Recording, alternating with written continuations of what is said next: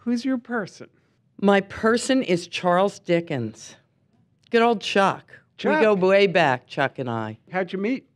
I think I was in eighth grade. I remember my mother, who, uh, you know, I loved and trusted in all things, but who was not literary, saying to me, Oh, no, you have to read Dickens. It's terrible. And I said, Why? And she said, He describes every leaf on every tree, on every street. And I remember thinking, What's wrong with that?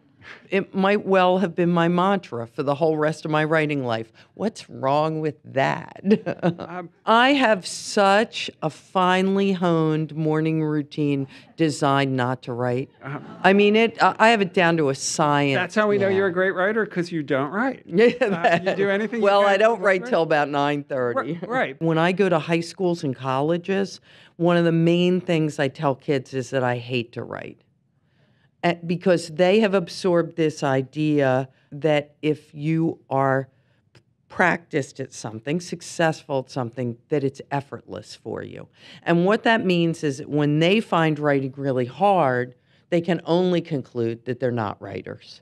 Where is your place? My place is 229 West 43rd Street. I don't know what it is now, and I don't care what it is I now. assume it's a Duane Reade. because for me, it will always be the headquarters of the New York Times. I was working at the New York Post, which was then owned by Dorothy Schiff Yeah. and was a real writer's newspaper. It just was a fabulous place to work, and it didn't take itself too seriously, which is what a newspaper should do.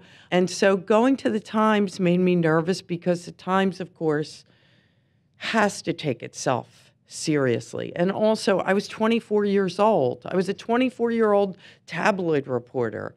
I haven't been in a newsroom yet where people didn't swear, but I'm relieved to hear it. they 'Cause the swore they swore yet less at the times and they used no Yiddish.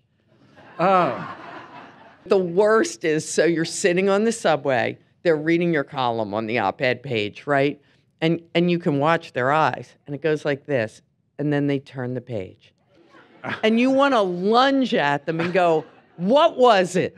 What was it? Was it wa- was it that number in the third graph because I didn't want to put that in the copy editor said we needed that, you know? what's your thing?